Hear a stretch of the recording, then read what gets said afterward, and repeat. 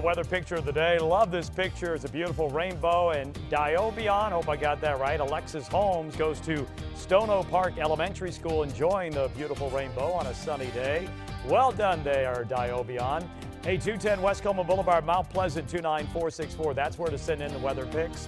Or you can email the pics to weatherartist at counton2.com. Diobion Alexis Holmes from Stono Park Elementary School. You're our weather artist of the day.